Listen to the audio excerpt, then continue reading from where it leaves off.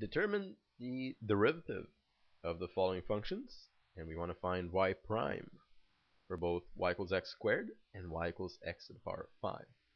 Great. So now let me just quickly remind you of the power rule.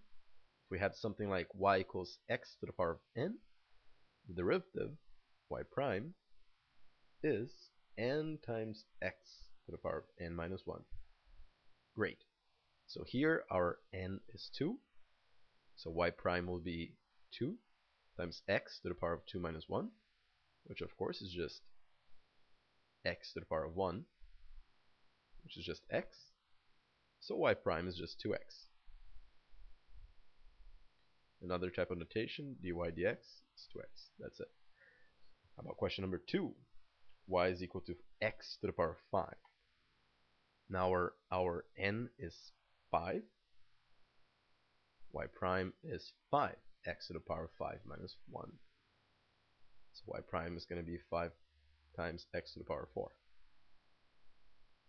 That's it. So that's as far as we go. And dy dx, which is equivalent, of course, to y prime, is 5x to the 4.